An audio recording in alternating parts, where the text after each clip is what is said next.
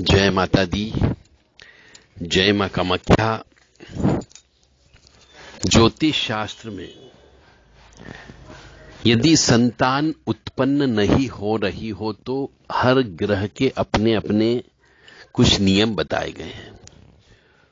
तो यदि चंद्रमा की वजह से बच्चे उत्पन्न नहीं हो रहे हो, यानी संतान प्रतिबंधात्मक योग है तो चंद्रमा ग्रह की वजह से संतान उत्पन्न नहीं हो रही हो।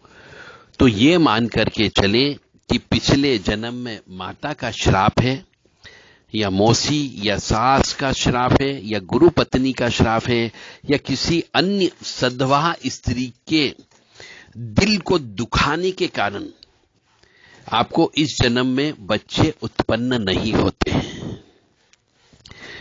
इसीलिए कहते हैं कि अपनी माँ, मौसी, सास, गुरु की पत्नी, यानी गुरु माँ, और कोई भी विवाहिता स्त्री के दिल को नहीं दुखाना चाहिए, उनके चरण स्पर्श करके उनसे आशीर्वाद लेना चाहिए। यदि कोई मनुष्य अपने घमंड में आकर के, अपने देह के घमंड में आकर के, अपने धन के घमंड में आकर के, यदि कोई इन स्त्रियों का दिल दुखाता है तो उसके यहाँ पिछले जन्म के श्राप और ज़्यादा बढ़ जाता है और उसके यहाँ बच्चे पैदा नहीं होते हैं। फिर बहुत पूजा पाठ करना होती है। चंद्रमा को प्रसन्न करना होता है, चंद्रमा से संबंधित चीज़ों का दान देना होता है, चंद्रमा के संबंधित उपवास करना होता है, संकट चतुर्थी का व्रत उपवास करना होता है। शिव जी की भयंकर पूजा करना पड़ती है। एक दो पूजा से कुछ नहीं होता है। और चूँकि स्त्री का श्राप लगा हुआ है तो देवी काली माँ या दुर्गा माँ, इनकी उपासना करना पड़ती है श्री सुक्त का पाठ करना पड़ता है और कन्या पूजन करना पड़ता है, तब जाकर के इस श्राप से मुक्ति मिलती है। तो मेरी आप सबसे विनम्र निवेदन है कि ऐसा कोई भी पाप कर्म, ऐसा कोई भी श्राप लेकर के इस दुनिया से मत जाओ, क्योंकि जो व्यक्ति आया है, उसे जाना तो अनिवार्य है। और उसका पुनर्जन्म भी होना अनिवार्य है। यह संसार का नियम है कि आज हम पैदा हुए हैं तो धीरे धीरे समय आने पर, वृद्धावस्था आने पर प्रौढ़ अवस्था आने पर, ईश्वर के नियम के मुताबिक मृत्यु को तो प्राप्त होना ही होना है। और अपने किए गए कर्मों का फल अगले जन्म में भोगना पड़ता है।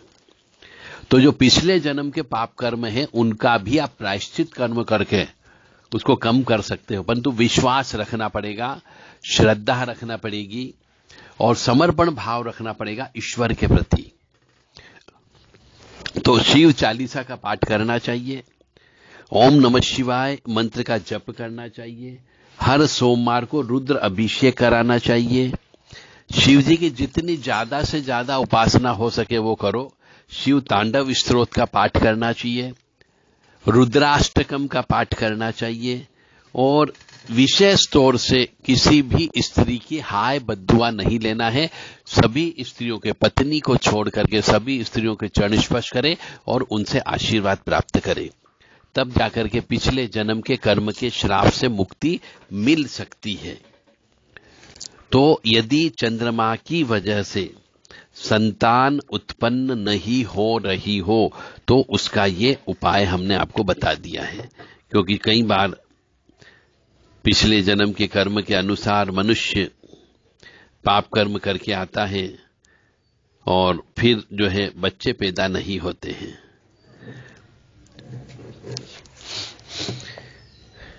जैसे कि चंद्रमा के साथ राहु पंचम भाव में बैठ गया हो तो माता का श्राप लगता है, पितृदोष लगता है उससे पुत्र संतान में उत्बाधा उत्पन्न होती है। और कभी कभी चंद्र राहु की वजह से यदि पुत्र उत्पन्न हो भी गया तो उस पुत्र की उन्नति में बाधाएँ उत्पन्न होती है। इसलिए चंद्रमा यदि पुत्र उत्पन्न करने में दिक्कत प्रदान करे तो आपको शिव जी का पूजन, देवी जी का पूजन करना ही करना पड़ेगा। क्योंकि चंद्रमा जो है, मात्र कारक ग्रह माना गया है। जय माता दी, जय माँ का मख्या।